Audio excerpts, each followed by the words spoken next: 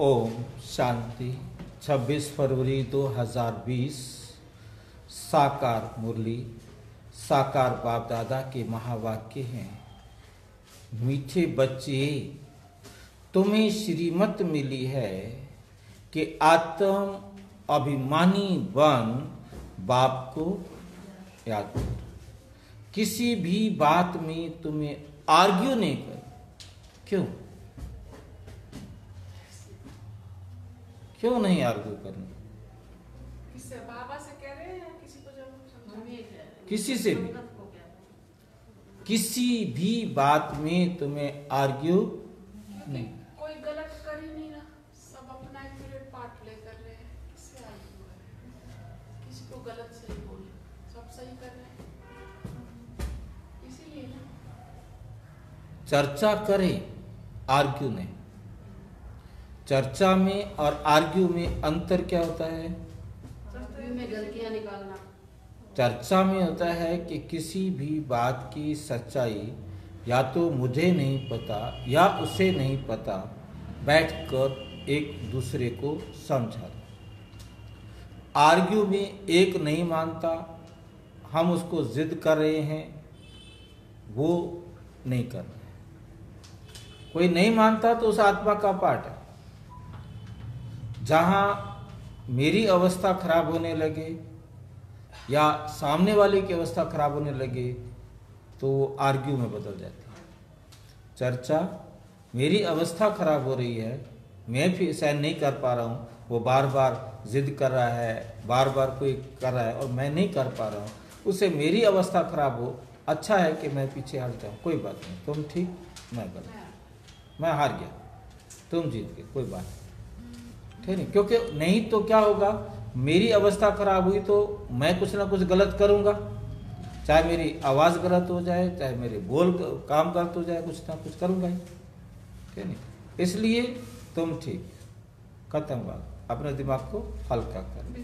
यदि उसकी अवस्था खराब हो रही है तो भी आप पीछे हट जाओ। क्योंकि मेरे कारण उसकी अवस्था खराब हो रही है। इससे मेरे को उसके साथ बहस नहीं कर क्योंकि मेरी अवस्था खराब हुई तो भी गलत उसकी अवस्था खराब होती है तो भी गलत। क्योंकि मैं उसकी अवस्था को खराब करने के क्या बन गया? निमित्त। आर्ग्यू में ये एक कमी रहती है। उस कमी को बाबा कहते तुमने क्या करना है? प्रश्न। बुद्धि योग स्वच्छ बन बाप से लग सके। क्योंकि हमारी बुद्धि में कोई भी इधर उधर की बातें नहीं है। तो हम बाप के डायरेक्शन को अपने अंदर इजीली एक्सेप्ट कर सकेंगे और उस पर फॉलो कर सकेंगे, मन मना भाव हो सकेंगे। उसकी युक्ति कौन सी रची हुई है?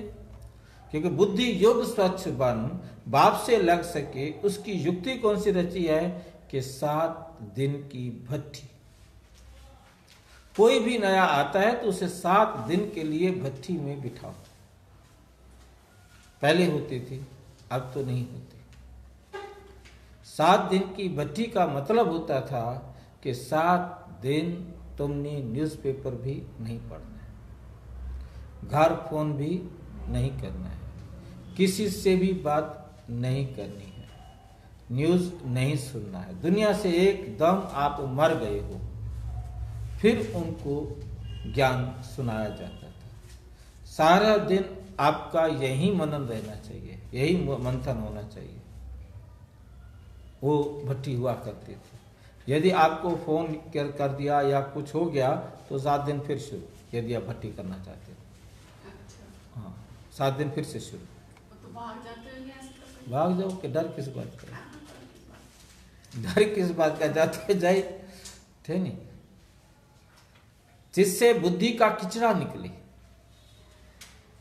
और गुप्त बाप गुप्त पढ़ाई और गुप्त वर्षे को पहचान सके। अब जैसे मधुबन में बुलाया जाता है, इस प्रकार से रखी जाए भट्टी ना, चाहे तीन दिन की रखी जाए। परंतु होता क्या है कि ये वाली भट्टी चल नहीं पाती, कोई नहीं मानता। जा रहे हैं, घूमने जा रहे हैं। जो आ रहा है, सारे घूमने जा रहे हैं, बाहर घूम रहे हैं। बहुत आधे लोग ही केवल बैठे होते हैं। बाकी आधे लोग तो बाहर घूम रहे हैं। उनका इंटरेस्ट ही नहीं होता है भट्टी में। पार्ट हर आत्मा का। जिससे बुद्धि का किचड़ा निकले और गुप्त बाप, गुप्त पढ़ाई और गुप्त वर्षे को पहचान सके। अगर ऐसे ही बैठ गए तो मूंझ जाएँगे। अब उनको बिठा दिया जाए तो क्या करेंगे बैठे बैठे? समझेंगे कुछ भी नहीं। समझेंगे कुछ भी नहीं। गीत चला, जाग सजनिया, जाग, अब घर साजन आए। ओम शांति। बच्चों को ज्ञानी तु आत्मा बनाने के लिए ऐसे ऐसे जो गीत हैं वो सुनाकर फिर उसका अर्थ करना चाहिए। तो वाणी खुलेगी। तो वाणी खुलेगी। वाणी कैसे खुलेगी?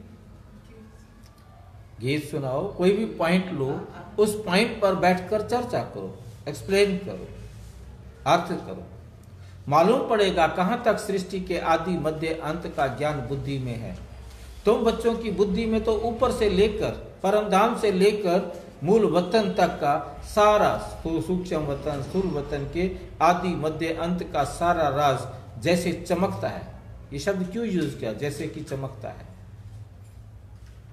चमकता शब्द क्यों यूज़ किया? आपको हर वक्त याद रहता है।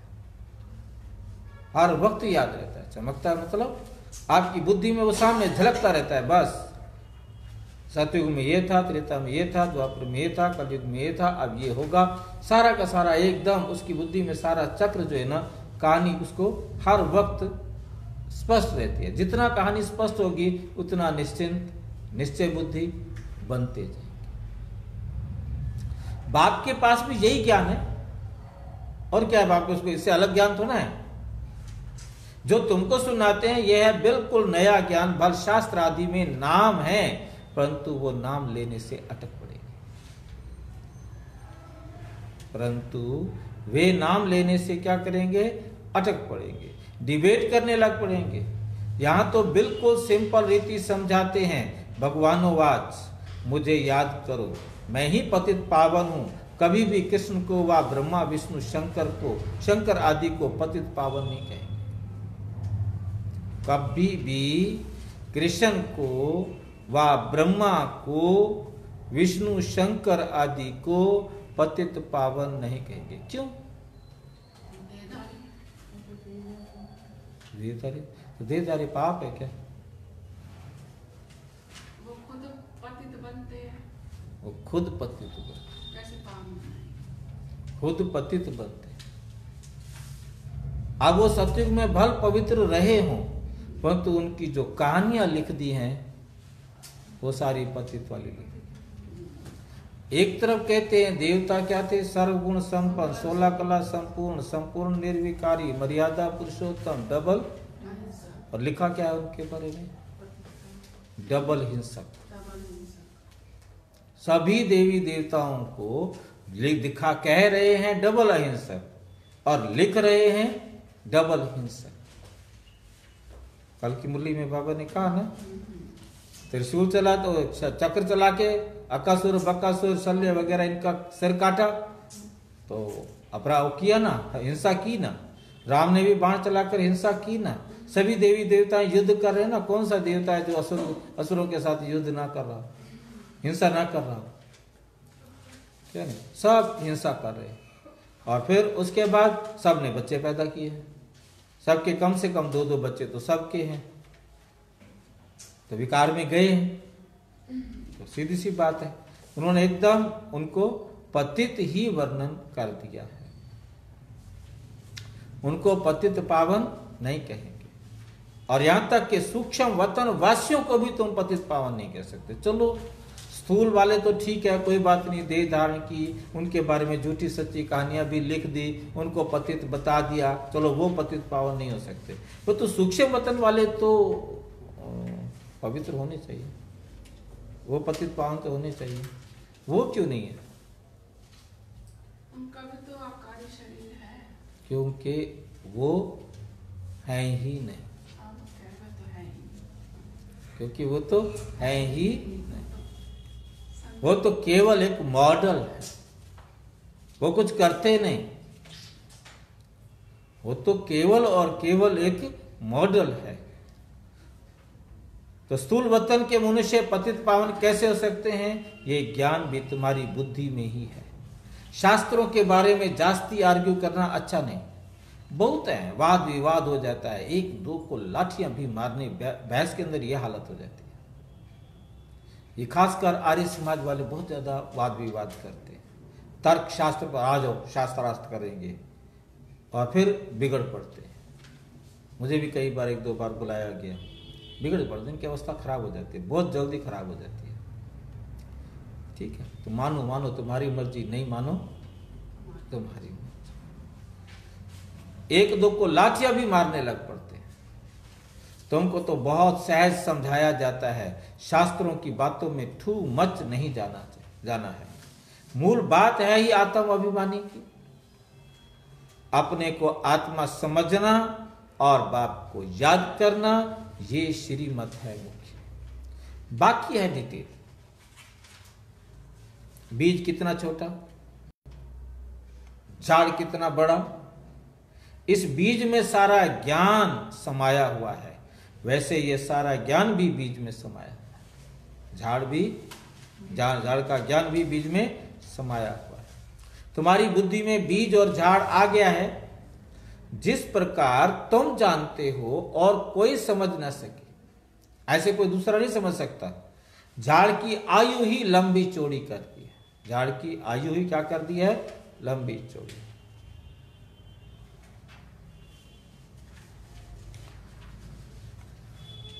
बीज और झाड़ व ड्रामा चक्र का रास समझाते हैं, तुम हो सुदर्शन चक्रधारी। कोई नया आए, बाबा महिमा करे कि सुदर्शन चक्रधारी बच्चों तो कोई समझ ना सके। तो कोई समझ ना सके। वे तो अपने को बच्चे ही नहीं समझते। ये बाप भी गुप्त है तो नॉलेज भी गुप्त है। वर्षा भी गुप्त है। नया कोई भी सुनकर मूंज पड़ेंगे, इसलिए सात दिन की भट्टी में बिठाया जाता है। ये जो सात रोज भागवत व रामायण आदि रखते हैं, वास्तव में ये इस समय सात दिन के लिए भट्टी भी रखी जाती, रखा जाता है। भट्टी में रखा जाता है। तो बुद्धि में जो सारा किचड़ा है, वो निकले। कैसे भी क्या हो कि बुद्धि में जो सारा किचड़ा है ना, वो निकाले। बाप से बुद्धि योग लग जाए, या सब है रोगी। क्योंकि किचड़ा निकालेगा, तभी तो रोग दूर होगा ना। सब रोगी हैं। सत्युग में ये रोग होते ही ये आधा कल्प का रोग है, पाँच विकारों का रोग वहाँ तो देह अभिमानी रहते वहाँ तो देही अभिमानी। सत्युग में क्या रहते हैं? देही। अभिमानी रहते हैं। जानते हो हम आत्मा एक शरीर छोड़ दूसरा लेती हैं। पहले से साक्षात्कार हो जाता है अकाले मृत्यु कभी होता नहीं। अकाले मृत्यु कभी होता नहीं। तुमको काल पर जीत पहनाई जाती क्या हमने काल पर जीत पा ली? काल काल पर जीत पाई। पाई कैसे? बताओ कैसे? मैं आत्मा हूँ मैं। मैं कभी मैं कभी नहीं मरती मैं अमर आत्मा हूँ। ये पक्का निश्चय जिसे हो गया है उसने काल पर जीत पाई। फिर चाहे शेर आ जाओ चाहे कॉकरोच आ जाओ चाहे कोई आ जाओ। फिर किसी से भी डर नहीं लगे क्योंकि शेर क्या कर सकता है? ज़्यादा से ज़्यादा। ला जाता शरीर को फाड़ फूड़ के फेंक देगा फेंक दो। कॉकरोच काट लेगा काट लो। बीमारी करेगा बीमारी कर दो। क्या करेगा? मैंने जिस जीव को दुख दिया हुआ है वो जीव करेगा अपना काम ना? तो करने दो। डर नहीं भय नहीं। मैंने उसको दुख नहीं पहुंचाना मैंने उसको दुख नहीं पहुँचा दुख दे ही है मतलब कोई भी क्यों दे रहा है? चलो वो उठाए अकाउंट में लेकिन भुगतना तो खुद शरीर को पड़ता है ना। दर्द भी झेलेगा वो दवाइयाँ भी खाएगा सब चीज़ें झेलनी तो पड़ेगी ना फिर। ज़रूरी तो नहीं कि वो सामने से देगा। ये ये मन को शांत कर ले इस चीज़ से कि हाँ पिछले हमने जन्म में कभी किया था। कर भी लेते हैं। करना पड़ेगा। कर- मत करो रो। मत करो, रो लो। वो तो उतना आना है ना। मेरे रोने से वो कम तो होने वाला नहीं है। मेरे रोने से कम होने वाला तो नहीं है। मैं सामने से मान लो कि अपने आप को इधर कर लूँगा या उधर कर दूँगा। परंतु वो पीछे से आके भी तो काट सकता है ना। फिर क्या करेंगे? मतलब मुझे चाहे वो सामने से काटे तो चाहे वो पीछे से काटे, मुझे परेशान नहीं होना। मुझे शान से परे नहीं जाना। बचाव करना है ये नहीं कहेंगे कि बचाव मत करो। परंतु आपके लाख बचाव करने के बाद भी उसने काटना है तो आप सड़कों के। बीचे बीच नहीं चल रहे आपने सारा सड़कों दे रखा है स्पेस कार वालों को बाइक वालों आप पैदल चल रहे हैं तमीज से चल रहे हैं रूल फॉलो कर रहे हैं। फिर भी साइड से पीछे से कोई क्यों किया? मैं यही क्वेश्चन पूछ रहा हूँ, क्यों किया?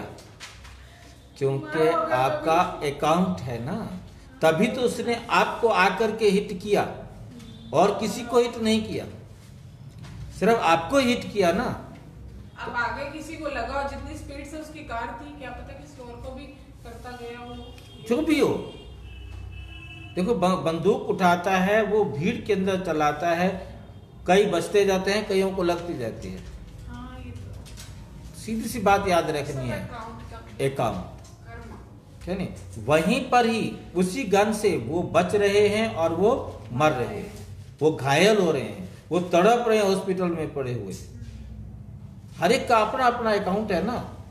चलो गोली लगी शरीर छूट गया वो एक अच्छा हो गया ना। हाँ। परंतु जो तड़प रहा है उसका क्या होगा वही, अब वो जैसे ट्रेन के नीचे कट के कितने लोग मरे थे हम्म। और ऐसे लगा कि कितना और नहीं तो एक सेकंड भी लगा उनको शरीर छोड़ने में। हाँ। वैसे तो इजी मौत थी कि कोई ज़्यादा वो नहीं था। बाकी जो बच गए तो जिनको जो तड़प रहे हैं आधे कटे। आधे कटे वो कितना दुख उठा रहे हैं। कितना दर्दनाक। और दर्दनाक किन के लिए ये सोचने वाली बात है। हिसाब हर एक का अपना अपना है ना। है।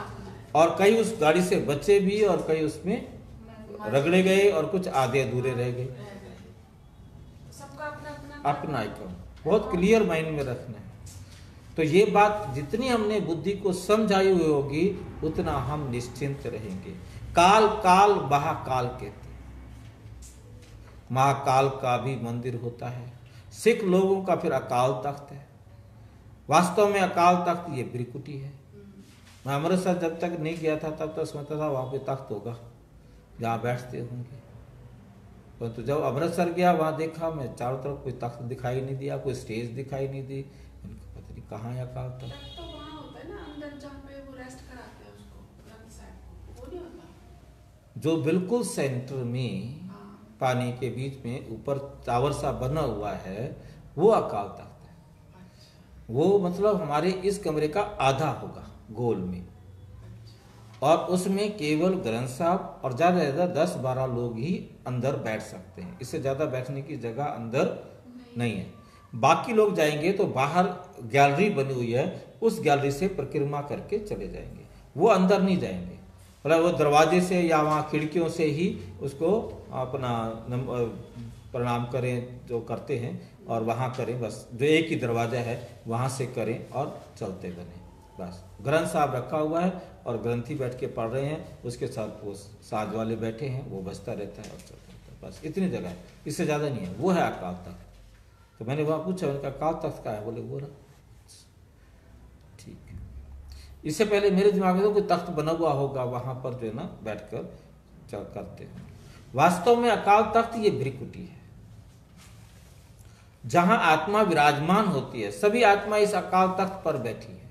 अपने अपने अकाल तख्त पर बैठी है। ये बाप बैठ सम जाते हैं, बाप को अपना तख्त तो है नहीं। वो आकर के इनके तख्त पर बैठते हैं। इस तख्त पर बैठकर तुम बच्चों को तौसी तख्त नशीन बनाते हैं। शाही तख्त तौसी तख्त मतलब? हाँ राजाई तख्त पर बिठाते हैं। तुम जानते हो ये तौसी तख्त कैसा होगा? जिस पर लक्ष्मी नारायण विराजमान होते हैं। कितना अच्छा होगा। तौसी तख्त तो गाया हुआ है ना? विचार करना है।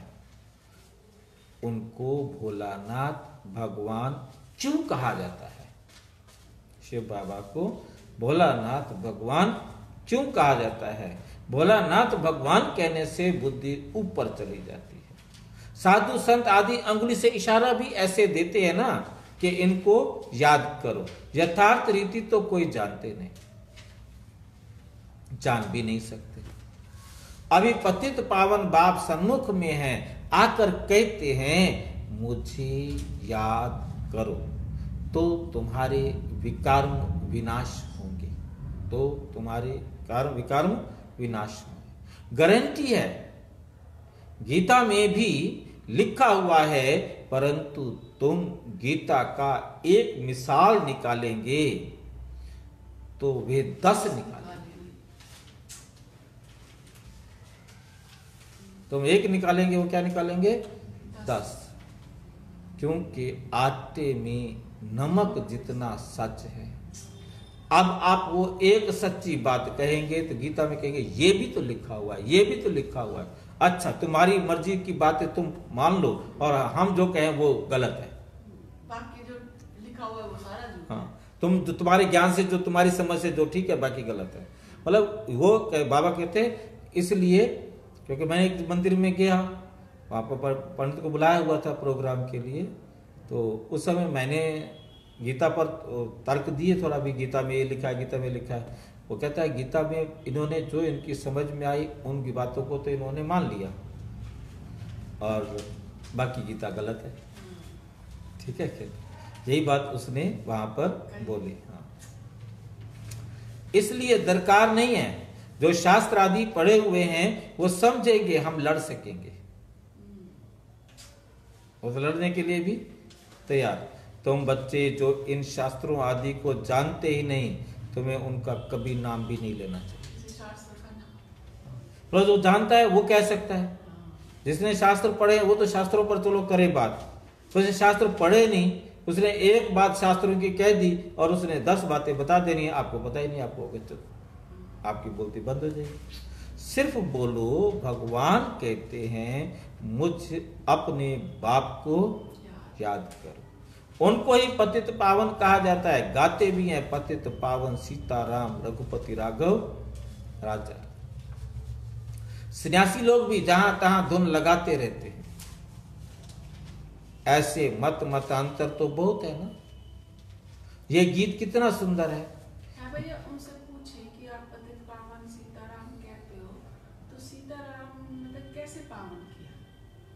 वो कहेंगे, अहिल्या को तारा, बेलनी को तारा, फलाने को तारा, गीत गाते हैं, भजन गाते हैं।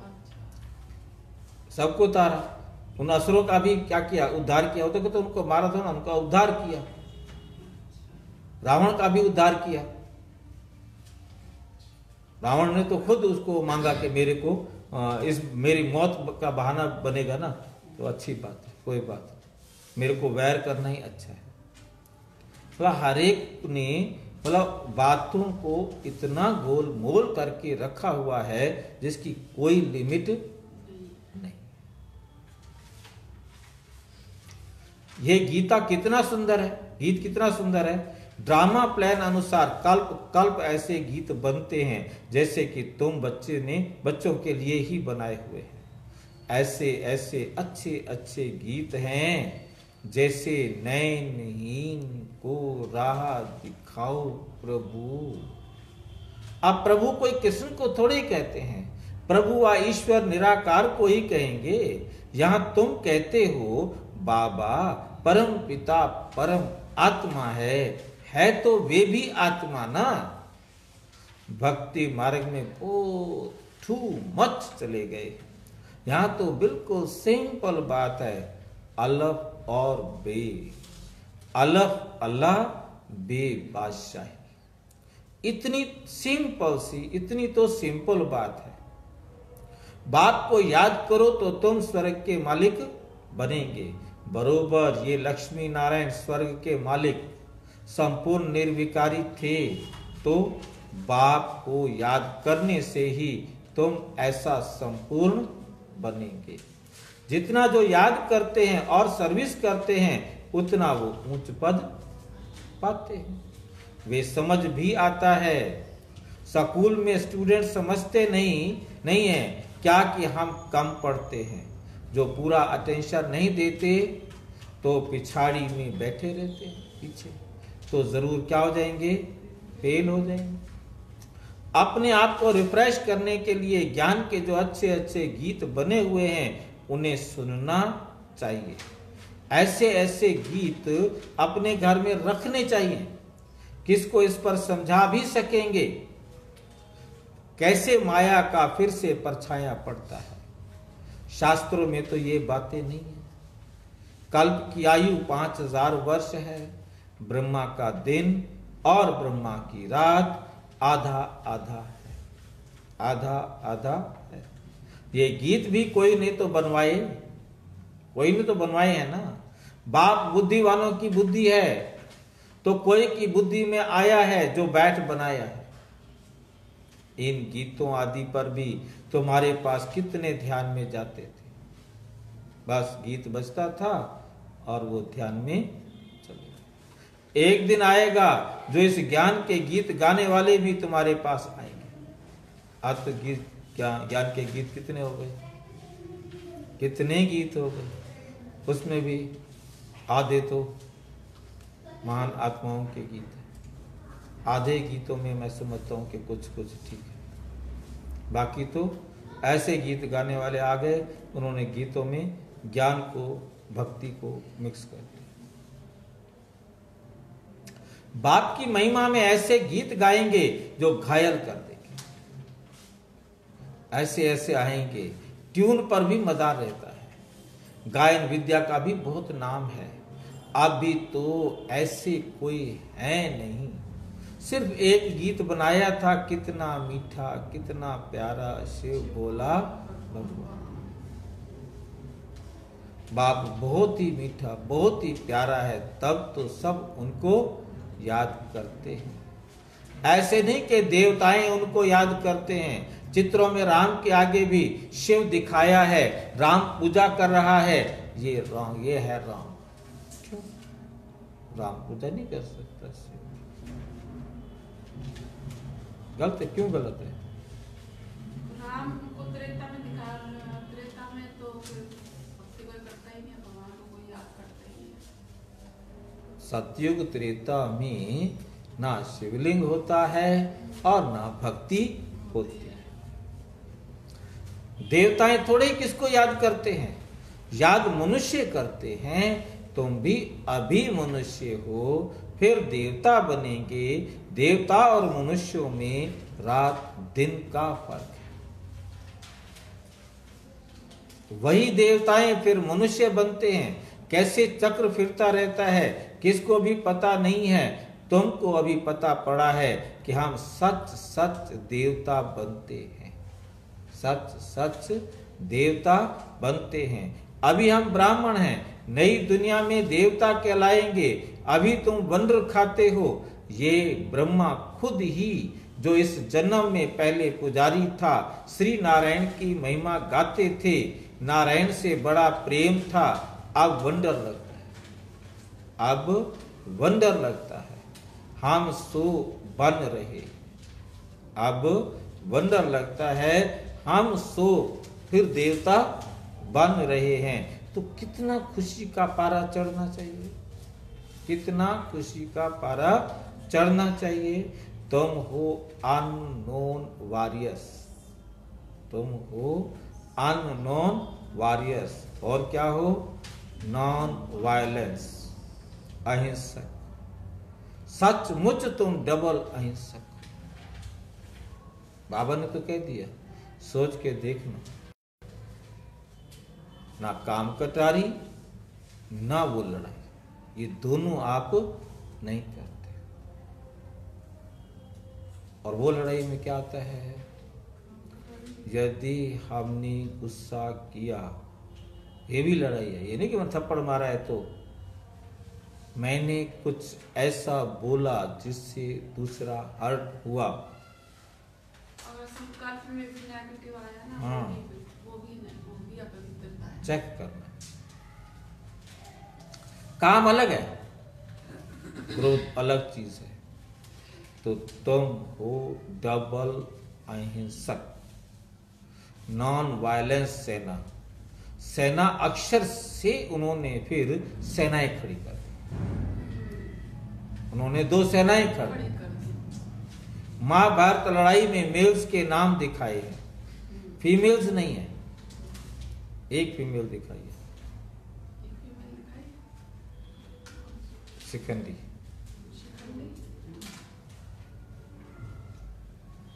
नहीं है? किसके आगे आते हैं? वो उसको मारने लगते हैं किसको मारने लगे कहते हैं फिर इसके ऊपर तो मैं एक दिन के लिए शिखंडी अर्जुन के सारथी बनते हैं। बाकी दिन श्री कृष्ण अर्जुन का सारथी होता है। एक दिन शिखंडी अर्जुन के रथ का सारथी बनता है। बनती है। बनती है। शिखंडी वो कौन होती है जो थर्ड जेंडर का? यही है ना। वही है ना? हाँ। वो किसके आगे आ जाती है? फिर उस पर कहते हैं मैं इसके ऊपर भाई अर्जुन के रथ की सारथी बनती है। हाँ, तो उसके ऊपर अब भीम को पता था ये शिखंडी कौन है। भीम जानता था हाँ, कि हाँ, अंबिका अंबाली। हाँ। वो उनमें से वो एक। अंबा, अंबिका अंबाली का हाँ। तो वो जो है ना जिसने उसको कहा था कि मैं बदला लूँगी। अब वो शिखंडी बन के आया और उसने कहा, आज रथ का सारथी मैं बनूँगी। और फिर उसने उसने हाथ हथियार रख दिए। उसने धनुष भीष्म पितामह ने रख दिया धनुष बाण, रख, मैं नहीं चलाऊँगा ये। तो फिर इसने अर्जुन ने बाण चलाया और सारे घायल करके उसको रख दिया क्योंकि जब तक ये नहीं युद्ध से हटेगा, तब तक कोई भी आगे युद्ध चलेगा ही नहीं क्योंकि भीष्म पितामह को हराना बात नहीं थी। तो इसलिए अर्जुन कृष्ण बड़ा चलाक थे उसने कहा ठीक है शिखंडी को उसको पता था ना कि क्या है। दिखाया है करके। वास्तव में तुम हो शिव शक्तियाँ मेजोरिटी तुम्हारी होने के कारण शिव शक्ति सेना कहा जाता है। ये बातें बाप ही बैठ समझाते हैं। अब तुम बच्चे नवयुग को याद करते हो, दुनिया में कोई को भी नवयुग का मालूम नहीं। वो तो समझते हैं नवयुग चालीस हज़ार साल के बाद आएगा। क्योंकि कलयुग अभी चालीस हज़ार साल पड़ा है। सतयुग नवयुग है। ये तो बड़ा क्लियर है। तो बाबा राय देते हैं ऐसे ऐसे अच्छे गीत भी सुनकर रिफ्रेश होंगे और किसको समझाएँगे भी, ये सब युक्तियाँ हैं। इनका अर्थ भी सिर्फ़ तुम ही समझ सकते हो। बहुत अच्छे अच्छे गीत है। अपने को रिफ्रेश करने के लिए ये गीत बहुत मदद करते हैं। अर्थ करना चाहिए। गीतों का क्या करना चाहिए? अर्थ करना चाहिए। तो मुख भी खुल जाएगा। खुशी भी होगी। बाकी जो जास्ती धारणा नहीं कर सकते, उनके लिए बाप कहते हैं, घर बैठ, बाप को याद करते रहो। ग्रस्त व्यवहार में रहते सिर्फ़ ये मंत्र याद रखो, बाप को याद करो और पवित्र बनो। बाप का कहना मानो और पवित्र आगे पुरुष लोग पत्नी को कहते थे, भगवान तो घर में भी याद कर सकते हो। भगवान को तो घर में भी याद कर सकते हैं। फिर मंदिरों आदि में भटकने की क्या ज़रूरत है? हम तुमको घर में मूर्ति दे देते हैं। यहाँ बैठ याद करो, धक्का खाने क्यों जाते हो? ऐसे बहुत पुरुष लोग स्त्रियों को जाने नहीं देते थे। चीज़ तो एक ही है। पूजा करना करना है और याद करना है। जबकि एक बार देख लिया, फिर तो ऐसे भी याद कर सकते हैं। कृष्ण का चित्र तो कॉमन है। मोर मुकुटधारी, तुम बच्चों ने साक्षात्कार किया है। कैसे वहाँ जन्म होता है, वो भी साक्षात्कार किया है। परंतु क्या तुम उसका फ़ोटो निकाल सकते हो? भाई जो साक्षात्कार के करके आया है, उसका फ़ोटो निकाल सकते हो? एक्यूरेट कोई निकाल ना सके। दिव्य दृष्टि से सिर्फ़ देख ही सकता है, बना नहीं सकते। हाँ देखकर वर्णन कर सकते हो, बाकी वो पेंट आदि नहीं कर सकते। भल कोई होशियार पेंटर हो, साक्षात्कार भी करे तो भी एक्यूरेट फीचर्स निकाल ना सके। तो बाबा ने समझाया, कोई से आर्ग्यू जास्ती नहीं करना है, बोलो, तुमको पावन बनने से काम और शांति मांगते हो तो बाप को याद करो और पवित्र बनो। पवित्र आत्मा यहाँ रह नहीं सकती। इस पतित दुनिया में पवित्र आत्मा रह ना सके। वो चली जाएगी वापस परम धाम। आत्माओं को पावन बनाने की शक्ति एक बाप में है और कोई पावन बना नहीं सकता। बना नहीं सकता। तुम बच्चे जानते हो, ये सारी स्टेज इस पर नाटक होता है। इस समय सारी स्टेज पर रावण का राज्य है। सारे समुद्र पर सृष्टि खड़ी है। समुद्र पर क्या खड़ी है? सृष्टि खड़ी है। ये बेहद का टापू है। ये है, वो है हद के और ये है बेहद का टापू। बेहद ये है बेहद की बात। जिस पर आधा कल्प देवी राज्य, आधा कल्प आसुरी राज्य होता है। यूँ खंड तो अलग अलग हैं, परंतु ये है सारी बेहद की तुम जानते हो, हम गंगा जमुना नदी के मीठे पानी के कंठे पर ही होंगे। समुद्र आदि पर जाने की दरकार नहीं रहती। ये जो द्वारिका कहते हैं ये कोई समुद्र के बीच होती नहीं है। द्वारिका कोई दूसरी चीज़ नहीं है। तुम बच्चों ने सब साक्षात्कार किए हैं। शुरू में ये संदेशी और गुलजार बहुत साक्षात्कार करती थी। गुलजार को देखा दादी को?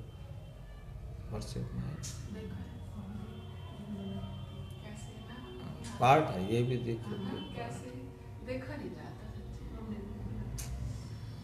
तो चलो।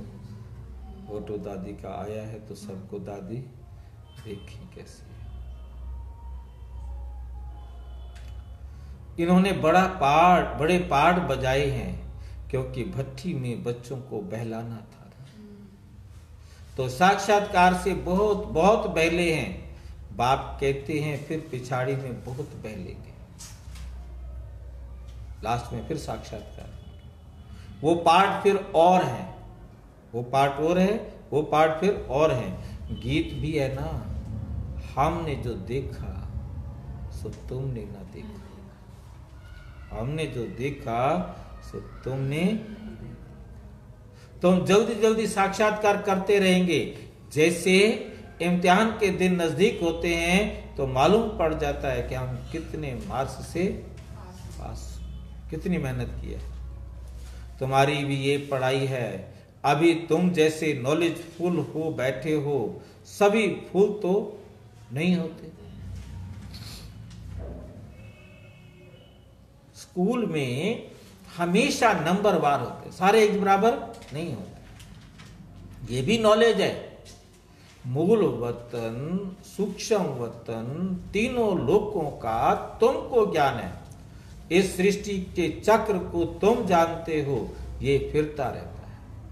ये फिरता रहता है।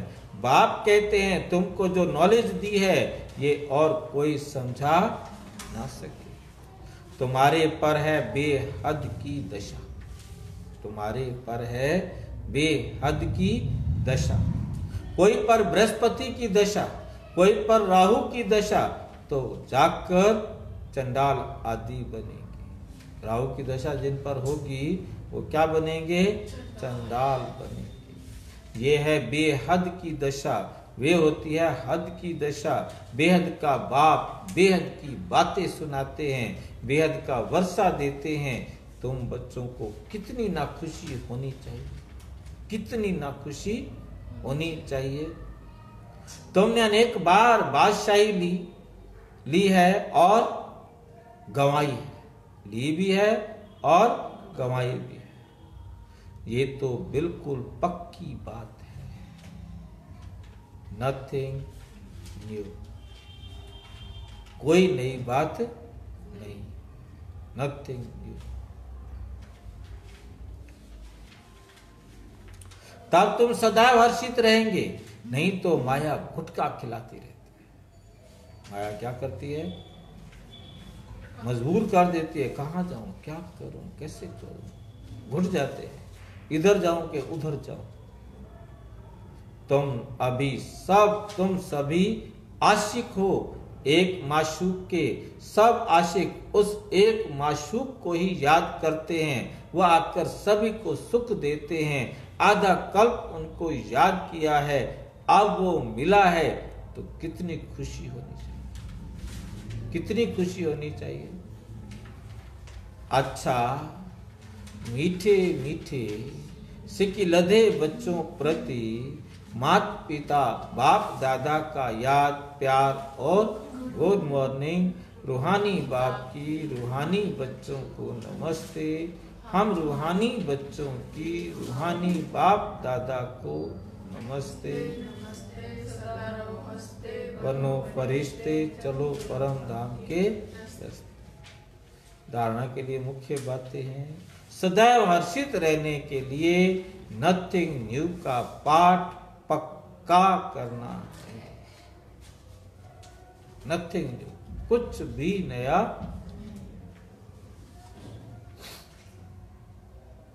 बेहद का बाप हमें बेहद की बादशाही दे रहे हैं।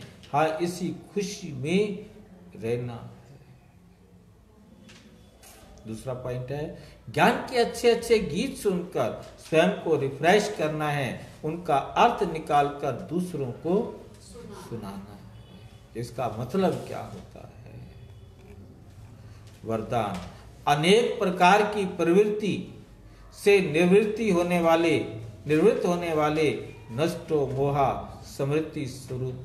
अनेक प्रकार की प्रवृत्ति, झमेले, गृहस्थी का नहीं, अनेक प्रकार की प्रवृत्ति।